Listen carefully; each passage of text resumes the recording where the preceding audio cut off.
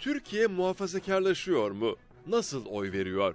Yolsuzluklar, projeler ve ideolojik eğilimler seçmenleri ne ölçüde etkiliyor?